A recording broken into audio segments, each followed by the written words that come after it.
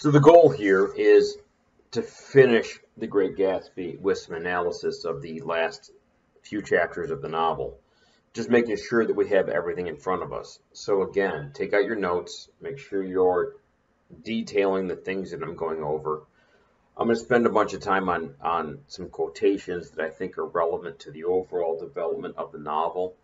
As you see me looking to uh, my left, I keep looking at my notes, which I have right here, which are going to be relevant to how I develop all this. So make sure you have your resources. Uh, hopefully you got your multimedia links sent to me. So if you hear my email dinging in the background, it's because several of you are sending me your multimedia links. So here we go with the overall analysis that you need. Good evening, persons of quality. Now, this is chapter 7, and the title slide you just looked at said Tom v. Gatsby, and I think that's important because this is for the conquest of Daisy and why that matters to the overall themes of the novel. So, we have Nick Jordan, Gatsby, and Tom all together.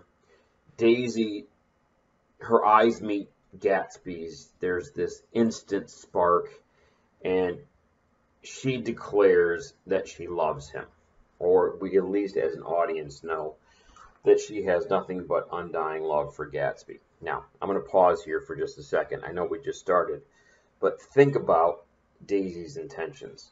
At this phase, chapter 7, we got two more to go.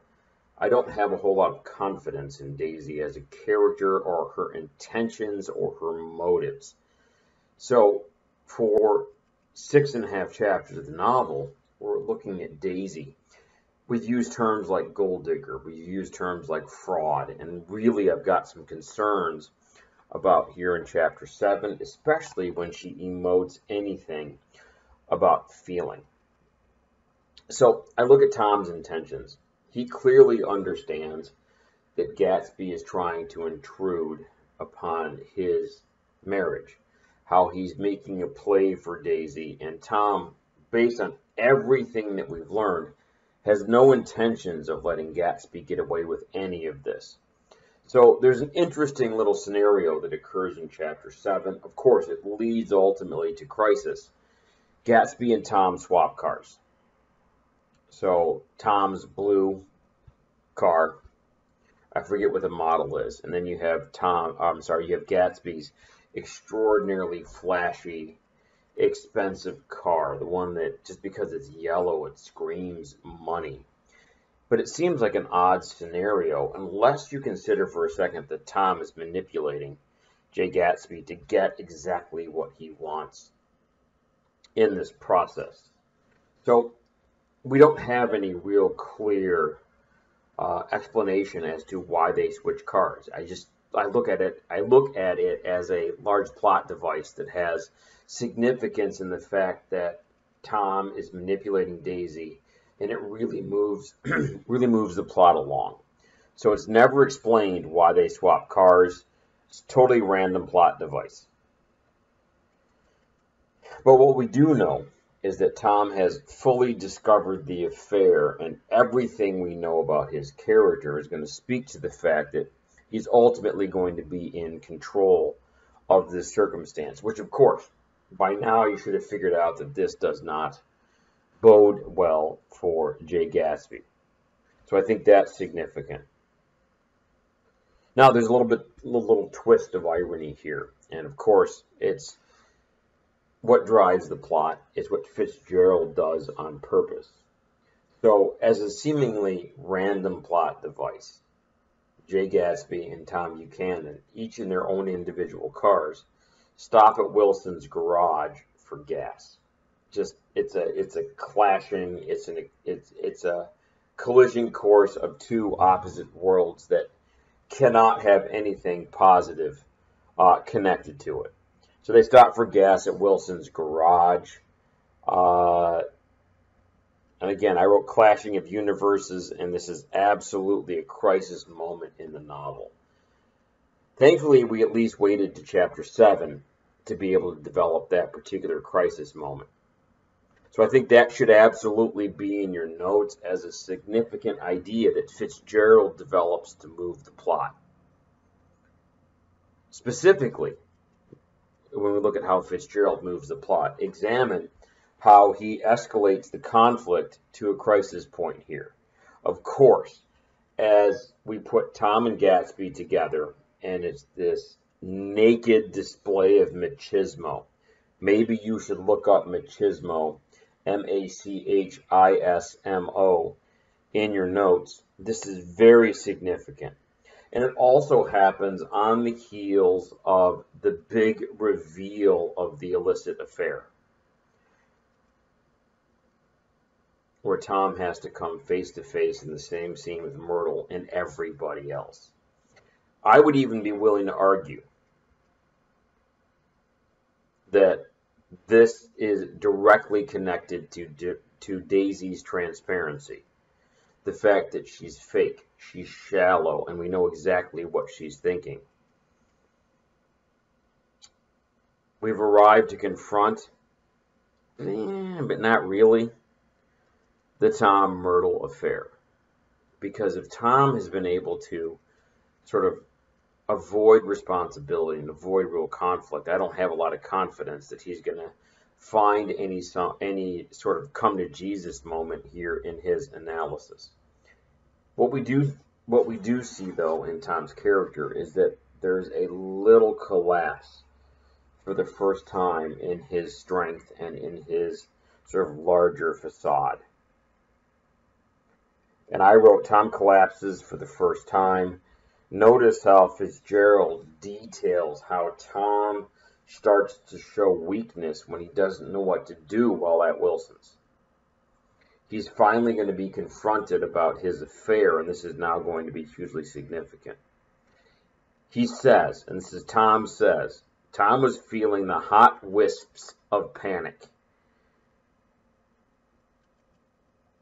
His wife and his mistress, until an hour ago, secure and inviolate, inviolate, inviolate, I N V I O L A T E there's no way that they were going to come together. Well, the crisis moment has occurred, and they are now absolutely coming in contact and direct conflict with each other. So, to go back to the beginning of that quote, his wife and his mistress, until an hour ago, secure and inviolate, were slipping precipitously from his control. So he's losing control of the situation, and clearly, Tom's not about that losing of control. So this is not going to end well, and I can see that right here with the description of Tom's character. I'm very, very much a fan. I'm very much a fan of Gatsby quotes and how this works. So I'm going to provide two links on the Mudge page. They're going to take you to lists of significant quotations for Gatsby. So I would suggest you go to the Mudge page, you download them or open them or whatever format I put them in, and make sure you can develop who said it, what's the context, and why is it significant to the overall themes of the novel. I think that's very important to you as an activity moving forward. We understand that the climax comes when Gatsby calls out Daisy to own her truth. My words, but to own her quote unquote truth. He says "Or just tell Tom, or just tell him the truth that you never loved him. And it's all gone, and it's all wiped out forever. I had to read my own handwriting. So he says, just tell Tom you never loved him and it's all wiped out forever. Again, notice the emphasis I'm putting on quotes. It's for the sake of making sure we have the material. So I think this is very important. Gatsby sees this whole Daisy Tom fiasco in black and white. He doesn't see any sort of deviation from his larger plan or from his motives or any of these kinds of things. Perhaps this contributes to his fatal flaw, or tragic flaw, if you will, because he's inflexible, and because he's inflexible, he can't adjust to any sort of disruptions to his overall plan. Gatsby sees it as a black and white issue, one of great finality. And that's what it comes from the text. It's it's gonna happen this way, and this is gonna bring the novel to an end. He only needs Daisy to be able to follow along and play her part in this process. Here's the problem. She can't. She won't. She's incapable of going through any sort of uh, realization of the depth in her character. So I think, again, that's incredibly important. Now, this first segment is at 9 minutes and 44 seconds. If I move on, Gatsby pushes the issue further, stupidly. Bad plan. He looks at her and says, You never loved him. Escalating. Put it down, put it out to the universe so that when you make a choice, or he forces her to make a choice, she doesn't have any other, she has no other options. I mean, look at what she's got going on here. She can pick Gatsby, the upstart. She can stay stable with Tom. To me, there's no question about the choices Daisy's going to make and how that's going to have a tragic end. So Gatsby pushes her and says, You never loved him. Of course, implied here is that she only loves his money because she's a gold digger. What she says about her daughter, all these kinds of things that tie her to the money. So I think this goes to my earlier idea that Daisy is absolutely shallow, transparent, and pale. And I use that language because I used it as quote material earlier to describe Jay Gatsby. So let me try that again because I got some cool notes here. So this goes to my earlier idea that she is shallow, transparent, pale, emotionally. I put that in parentheses. And even even more shallow. And then I wrote, did I say that already? Did I beat you over the head with the fact that I think she's shallow and transparent and really she's not going to make any large decisions on her own? I think very significant. Something else I find significant when you look at the quotes is Fitzgerald describes Tom as having a husky tenderness. And I put those two words in quote, husky tenderness, in his voice. What, Tom shows emotion? Figure out if you think that this is intentional or not in its presentation. The reason I note it is because this is where Daisy collapses. When Tom reaches out and he seems to have emotion in his voice, Daisy crumbles as a character. And that whole big, I'm going to strike out on my own, I'm going to do all these things, just falls apart at that point. And I know you appreciated that sound effect, but I think it's very important. So again, Tom has a quote unquote husky tenderness, and this is sort of the first crack in Daisy's character in her facade, F A C A D E, in her performance. And she says, You want too much to Gatsby. You want too much. I love you now. Isn't that enough? No, it's not enough. She's done so much damage that now all of a sudden we're going to make it all go away with, but I love you now. Oh, honey. No, that's not going to work for me. This is perhaps why she's one of my least favorite literary characters because she is utterly deplorable in the way she presents her character and the way she presents her stuff. Now I realize that I'm currently at 13 minutes and 24 seconds roughly. I didn't put any breaks into this one because my notes are well organized. So this is just a matter of pacing yourself.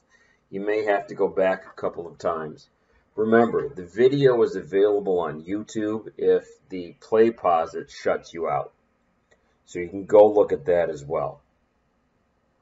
Now, after these big moments, that was my power pause to let you catch your breath. Tom turns on Gatsby. crisis moment we've been waiting for. Two dominant males button heads. There's this significant conflict that occurs. Tom addresses the corruption and the rumors and all of the deceitful, deceitful behavior attached to Gatsby. It's all about Gatsby's reputation. It's all about criticizing where he comes from, criticizing the major ideas. So Tom deliberately ruins Gatsby's golden image. And I use that term golden image on purpose, especially when we look at the ideas of the Gilded Age. So Tom is responsible for revealing the corrupted underside, underbelly, if you will, of the entire novel and all of the rumor and conjecture surrounding Gatsby's character. Of course, we as readers, we know all this because we've read the book. But it's important that the characters now openly face the reality. It's important that the characters openly face the reality of this gilded character. Not the gilded illusion that they've been living under for six and a half chapters. So this is a big reveal here in this particular chapter. As we move, Tom sends Daisy, who's now enraged at having Myrtle and the affair in front of her. Crisis moment. Daisy discovers the affair. Daisy discovers that this is all garbage. She has Tom's illicit behavior thrown in her face and she absolutely rages. And I think that's incredibly significant. Now that she has it in front of her, and as Tom comments, he says, quote unquote, I think he realizes his presumptuous little flirtation is over about Gatsby. As Tom asserts his control, and Daisy has to almost instantaneously come to grips with Tom's affair, I think she snaps. In that psychological, I'm having a break and I'm going to do this and I'm going to rage and I can't be responsible for my actions. I think she absolutely flips. So Tom wins. But if Tom wins and can assert himself over Gatsby, ultimately, where does this, where does this leave Daisy? Broken, alone, shattered. And for a character who was fairly superficial, and to use my word again, shallow, I find this to be incredibly important. So Tom wins. Where does this leave Daisy? Well, here's something to remember. Shakespeare said, Hell hath no fury like a woman scorned. Shakespeare said, Hell hath no fury like a woman scorned. Well, now Daisy is that woman scorned. And I think this absolutely leads to the events of the car accident. The big reveal at the end of the chapter is the accident at Wilson's garage. Of course, we put it there. Of course, we see Wilson who has to deal with the consequences of discovering his dead wife, who's been killed in a car accident. And, oh my God, this is catastrophic and crazy and all these kinds of things. It's revealed that Myrtle was the victim of a hit and run, apparently by a yellow car, and we soon discover that Gatsby was letting Daisy drive. How ironic. What an interesting way to eliminate Myrtle from the appropriate process or from the appropriate scene. If Daisy's driving and she happens to run Myrtle over in the car, how convenient. Purposeful. I would say that given Daisy's character as we know all of these things, absolutely significant. My personal opinion, absolutely Gatsby, or I'm sorry, Daisy did it on purpose. And Gatsby, yet again, is just a pawn of what Daisy is planning as a character. The big line at the end of the chapter. Gatsby. He's stand he's quote unquote standing there in the moonlight. This highlights Gatsby's isolation from everybody else.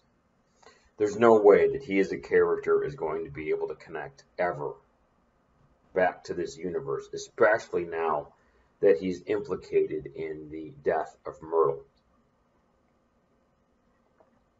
We, of course, know the truth, but again, I find this to be really telling. So if he's tragic, this could be absolutely something that pushes him off the deep end. Now, I wrote three observations here in my notes. So he's standing there in the moonlight. He's alone. He's isolated. No one cares about him. No one is interested in whether or not he reconnects. My notes, I said he's alone and he's been forsaken by Daisy. Two, he's crushed. He can't contest the outcome. He can't he can't contest it, he can't control it, he can't do anything. And Gatsby as a character seems to absolutely crumble when he can't control a situation. So I find that to be significant. And I would also make the huge argument that right now he's a tragic character. At the end of chapter 7, he's absolutely a tragic character. He's broken. He's had his Hamartia tragic flaw. He's had his anagnorisis, perhaps his realization here in chapter 7. I think is very significant. Has he had his catharsis yet? No. That certainly comes at the end of the novel, and I have it in my notes when I finish chapter 9. But absolutely, three takeaways. He's alone, he's crushed, and he's a tragic character. So I think all of these are going to be significant elements at the 21 minute mark. Good luck.